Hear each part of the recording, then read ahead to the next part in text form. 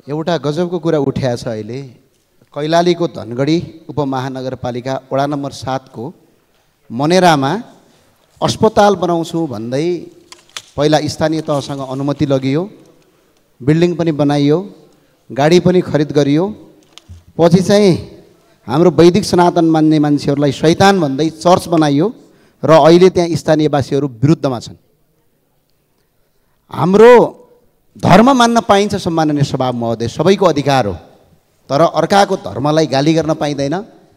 स्थानीय तहमा गएर झुटो विवरण पेस गर्दै धर्मका मन्दिर अर्थात् मन्दिर होस् चर्च होस् गुम्बा होस् यो चाहिँ झुटो विवरण पेस गरेर पढाउन पाइँदैन र अर्को चाहिँ विदेशीले आएर गाउँ गाउँमा छिरेर धर्म प्रचार गर्न पाइँदैन। यो म सम्माननीय सभामुख महोदयलाई जानकारी गराउन चाहन्छु। अरूको धर्ममा खलल पुग्ने गरी कुनै पनि काम गर्नु फौजदारी अपराध हो। मुलुकी फौजदारी संहिता ऐन दुई हजार चौहत्तरको परिच्छेद नौले के गर्दा धर्म सम्बन्धी कसुर मानिन्छ र त्यहाँ कस्तो सजाय हुन्छ भन्ने प्रष्ट उल्लेख गरेको छ। यस्तो किसिमको काम गरेमा सो काम गर्नेलाई तिन वर्षसम्म कैद र तिस हजार रुपियाँ जरिवाना हुन्छ र यदि त्यस्तो कसुर गर्ने व्यक्ति अन्य देशको नागरिक हो भने उसलाई नेपालीले पाउने जति सजाय पाउना साथ सजाय सकिएको सात दिनभित्र नेपालबाट बाहिर पाउने व्यवस्था छ।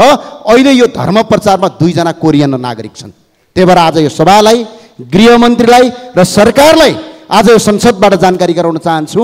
आज वैदिक सनातनको देशमा धर्म प्रचार गर्दै अरबौँ डलर रुपियाँ खर्च गरेर नेपालीहरूको समाज भट्काउने अधिकार छैन। तिनीहरूलाई सख्त कारवाही गरियोस् पक्राउ गरियोस् र सजाय गरियोस्। म यो सभालाई माग गर्न चाहन्छु सम्माननीय सभा महोदय। र सम्माननीय सभामुख महोदय विगत दुई तिन दिनदेखि म यो संसदमा हेरिरहेको छु बडा गजबको जात्रा चलिरहेछ। फाइलका फाइल घोटालाका घोटाला यस्तो कुरासम्म हुन आएको छ कि यो संसद होइन कुनै ब्ल्याकमेल गर्ने थलो हो।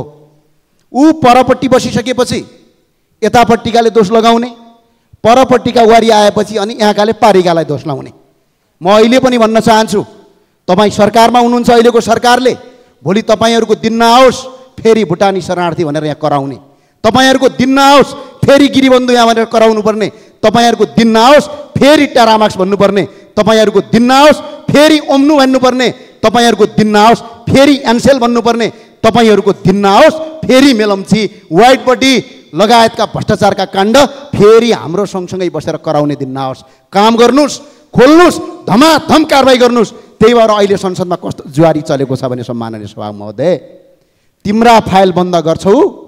अनि हाम्रा किन खोल्छौ? पहिला तिम्रा गर त्यसपछि हाम्रा गर।